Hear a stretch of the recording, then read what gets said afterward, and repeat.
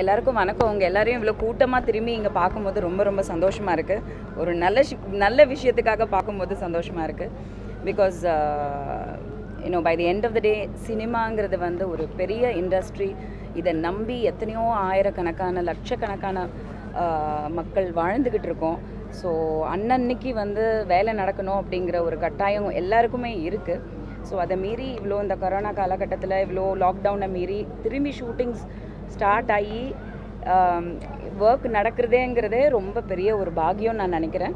அதுலேயும் நமக்கு நம்மளோட ஹெல்த் நல்லா இருந்து ஒர்க்குக்கு வர முடியுது அப்படின்னு நினைக்கும் போது I am very blessed I thank God இந்த படம் வந்து நான் ஒரு சில படங்கள் பண்ணிகிட்டு இருக்கேன். ஒரு ஃபியூ ஃபிலிம்ஸ் ஆல்ரெடி கம்ப்ளீட் பண்ணிட்டேன். ப்ரோ போஸ்ட் ப்ரொடக்ஷன்லாம் நடந்துட்டு இருக்கு. இந்த வருஷம் கடைசியில் வந்து நிறைய படங்கள் ரிலீஸ் ஆகணும். Because of lockdown and all that கொஞ்சம் டிலே அண்ட் uh, இது ஒரு ரீசன்ட் ஃபிலிம் வந்து நான் அக்செப்ட் பண்ணது. இது பேசிக்காக வந்து ஒரு லவ் ஸ்டோரி சிவப்பு மனிதர்கள்னு பேர். டைரக்டர் uh, அன்பு சரவணன் அவர்கள் வந்து எனக்கு ஸ்கிரிப்ட் வந்து நரேட் பண்ணார். ரொம்ப பிடிச்சது. ஸ்ட்ராங்கான கேரக்டர் ஆக்ட்ரஸ் இதில் ஒர்க் பண்ணுறாங்க ஸோ கிளைமேக்ஸில் வந்து ஒரு ஸ்ட்ராங்கான ஒரு uh, சீன் ஒரு கோர்ட் ரூம் ட்ராமா சீன் நான் நல்லா வாதாடுவேன்னு எல்லாருக்கும் தெரியும். பிக் பாஸில் பார்த்துருப்பீங்க நிறைய பார்த்துருப்பீங்க. ஸோ ஆஸ் அ லாயர் அட்வொகேட்டாக வந்து இந்த கிரிமினல் கேஸை வந்து எடுத்து ஒரு டாப் லாயராக இந்த டிஸ்ட்ரிக்டில் எடுத்து வாதாடி ஜெயிக்கிற ஒரு கேரக்டர் ஆப்போசிட்டில் லிவிங்ஸ்டன் சார் நடிக்கிறாங்க. I am very honoured to work with him because நான் actually a very big fan of him wonderful actor veteran actor இந்த மாதிரி நடிகர்கள்லாம் இன்னைக்கு சினிமாவில் வந்து ரொம்ப பொக்கிஷம் மாதிரி you don't get to work எல்லாரோடையும் ஒர்க் பண்ணுறது கஷ்டம்.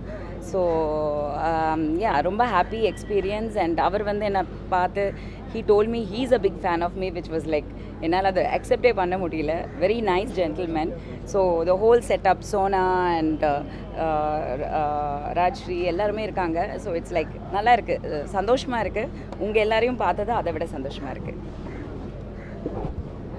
லாங் டைம் கொரோனா டைமில் வந்து தகுந்த பாதுகாப்பு ஸ்பாட் எப்படி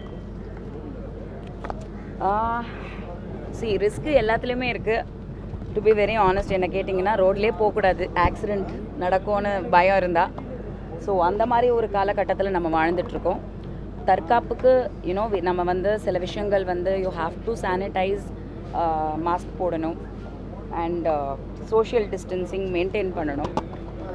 மெயின்லி என்னை பொறுத்த வரைக்கும் அந்த பயம் வரக்கூடாதுன்னு நான் ஃபீல் பண்ணுறேன் ஏன்னா I have been nothing but careful to be honest நான் வந்து சில விஷயங்கள் வந்து நான் கொஞ்சம் டேரிங் தான் எல்லாருக்குமே தெரியும். பார்த்துக்கலாம் அப்படின்ற ஒரு ஆட்டிடியூட் இருக்குது பட் ஒர்க்கில் நிறைய பேருக்கு விஜய் டிவிலாம் பண்ணும்போது வந்து கொரோனாலாம் அஃபெக்ட் ஆச்சு. I was in fact infected person இருந்தாங்க என் கூட. அதே கேரவனில் அது எனக்கு தெரியல. But with God's grace I escape so எல்லாருமே வந்து கேர்ஃபுல்லாக இருக்கணும். பட் ரொம்ப பயப்படாதீங்க. தைரியமாக கேர்ஃபுல்லாக இருங்கன்னு சொல்லுவேன். ரீசெண்டாக ஒரு ஸ்டேட்மெண்ட் கொடுத்துருந்தீங்க. வெளியே வர தனியார் தொலைக்காட்சியிலேருந்து நான் வெளியில் வரலை. ஐ ஸ்டாண்ட் கரெக்டு விஜய் டிவிக்கும் எனக்கும் எந்த ஒரு பிரச்சனையும் இல்லை. கொஞ்சம் கீழே எதுவும் இல்லை. In fact yesterday also I was ஒரு long call happy call Vijay டிவியோட ஹெட்டோட she is very close to me பர்சனலாக நிறைய பேசிகிட்டு இருந்தோம். So I have no problem அவங்களுக்கும் என் மேலே விஜய் டிவி மே எது ப்ராப்ளமும் கிடையாது. ஸோ அது தயவு செஞ்சு அது அப்படின்னு நினைக்க வேண்டாம்.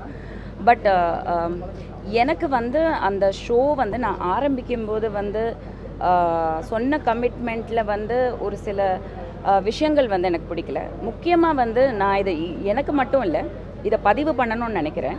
அந்த ஷோவை பொறுத்த வரைக்கும் எல்லாருமே என்டர்டெய்னர்ஸாக ஸ்டார்ஸாக தான் உள்ளே போகணும். அது BB Jodigal Bigg Boss Jodigal. So Bigg Boss stars Vijay TV stars already popular popular sorry already எங்களுக்கு பிரபலமானவங்க பெரிய ஃபேன் பேஸ் இருக்கக்கூடியவங்க தான் அந்த ஷோவில் வந்து பார்ட்டிசிபேட் பண்ணுறாங்க ஸோ அவங்களுக்கு வந்து படங்கள் இருக்குது கெரியர் இருக்குது ஃபேன் பேஸ் இருக்குன்னும் போது அதுக்கேற்றாப்புல அவங்களுக்கு அந்த ஒரு யூனோ எனி ஆர்டிஸ்ட் அது எந்த ஒரு கலைஞராக இருந்தாலும் சரி அந்த மரியாதை த- தரக்கூடிய மரியாதை கொடுத்து தான் ஆகணும் இர்ரெஸ்பெக்டிவ் ஆஃப் ஹூதையா அது அது கொஞ்சம் தளர்வானது எனக்கு அதில் ஈடுபாடு இல்லை. ஸோ நம்ம விலகிறது பெட்டர்னு சொல்லிட்டு விலகிறேன். பொதுவாக சோஷியல் மீடியாவில் இப்போ நிறைய வந்து அப்யூஸ் பண்ணுற மாதிரி நிறைய பேர் வந்து போட்டுட்டு வராங்க. நிறைய தனியாக தனியார் சேனல் வச்சுருக்காங்களா மேம் அவங்க வந்து இதை பற்றி என்ன நினைக்கிறீங்க? அதை பற்றி மாதர் சங்கம்லாம் நிறைய ப்ரோட்டஸ்ட்லாம் பண்ணிட்டு வராங்க. மாதர் சங்கம் எந்த பொம்பளைக்கு நிஜமாக சப்போர்ட் பண்ணாங்கன்னு எனக்கு தெரியாதுங்க. நான் வாழ்க்கையில் ரொம்ப பிரச்சனைகள் பார்த்துருக்கேன். பர்சனலி இது கொஞ்சம் கீழே இறக்குனீங்கன்னா பெட்டர் பர்சனலி ரொம்ப போராடி இருக்கேன் தனியாலாம் நின்று ஒரு பொம்பளை பொண்ணை கையில் வச்சுட்டு நடு ரோட்டில் நடு நைட்டில் நின்று இருக்கேன் எந்த மாதர் சங்கமும் வந்து எனக்கு சப்போர்ட் பண்ணலை.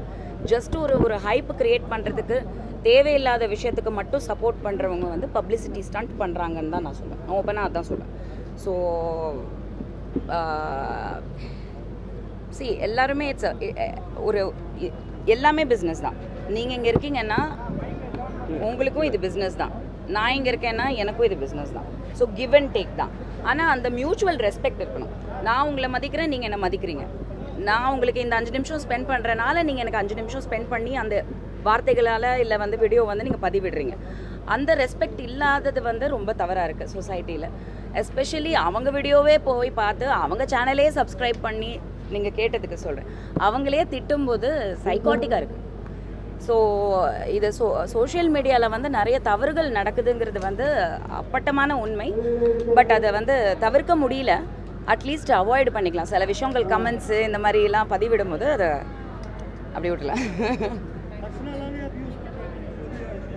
ரொம்ப கஷ்டம் தாங்க பர்சனல் தான் அப்யூஸ் பண்ணுறாங்க ப்ரொஃபஷனல் யாருமே அப்யூஸ் பண்ணுறதில்ல நம்ம சரியாக நடிக்கல உங்களுக்கு படம் இல்லைன்னு யாருமே கேட்குறதில்ல ஒரு குங்குமம் இன்னைக்கு வந்து நான் நெத்தியில் வச்சுட்டு இங்கே நின்னா யார் புருஷான்னு கேட்குறாங்க இட் மேக்ஸ் நோ சென்ஸ் காலகட்டம் அப்படி இருக்கு. எல்லாருக்குமே சுதந்திரம்ன்றது வந்து நிறைய கொடுத்துட்டா மாதிரி அவங்க எடுத்துக்கிறாங்க. அவங்க எடுத்துக்கிட்டோம். நம்ம என்னத்துக்கு ஃபீல் பண்ணணுங்கிறது என்னோட ஆட்டிடியூட் அதை பார்த்து நம்ம வந்து ஃபீல் பண்ணோன்னா நம்மளால் வாழவே முடியாது எதுவுமே பண்ண முடியாது. நம்ம லைஃப் நம்மளது. டுடே சினிமாவை சப்ஸ்கிரைப் பண்ணுங்கள் அந்த பெல் ஐக்கானை கிளிக் பண்ணுங்கள் தேங்க்யூ